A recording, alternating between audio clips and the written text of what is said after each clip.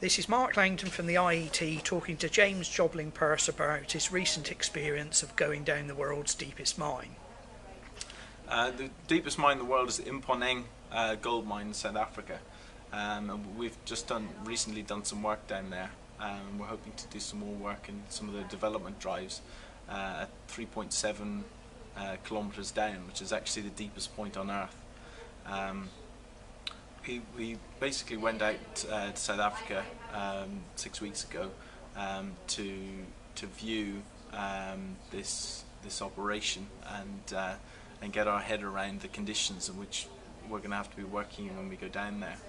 Um, to give you an idea about uh, actually how difficult it is working in this type of environment, um, the shift time um, for working personnel is only four hours, which basically means that uh, the guys who, who go down there, it's, it's an hour and a half lift ride down, um, and uh, the guys would expire if they worked beyond four four hours. So um, it's really really harsh. Um, and to give you an idea of uh, of how the mine copes with this. Um, they've actually got one of the biggest snow machines in the world. If it isn't the biggest, it's, it's certainly the second biggest snow machine in the world to try and cool the, the, the workings down um, and even then the, the, the, operating temperature is uh, sort of 36 degrees centigrade, um, which is which is very very hot, especially if you if you're doing physical labour, um, and uh, it was a, a, real sort of eye opener, I think, to uh, to actually how harsh some of these uh, mines can be. Um, and the kind of guys and the respect for the guys who actually work down there.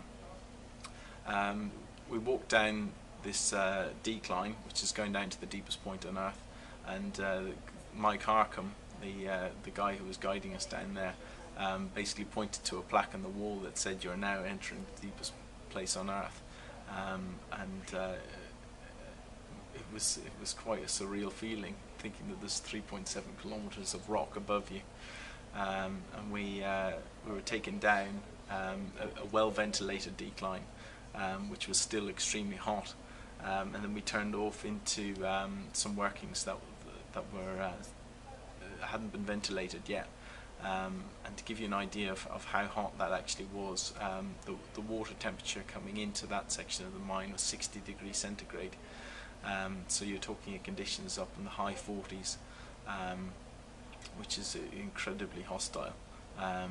you're drinking sort of five litres of water in a shift um, and uh, I mean the mine is alive. The, the, the, the weight of material pushing down actually causes rock bursts and seismic events underground which can measure over three on the Richter scale.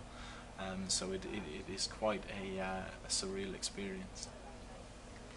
And how long does it actually take you to get down from the surface to the face? It's it, it's an hour and a half, at least an hour and a half.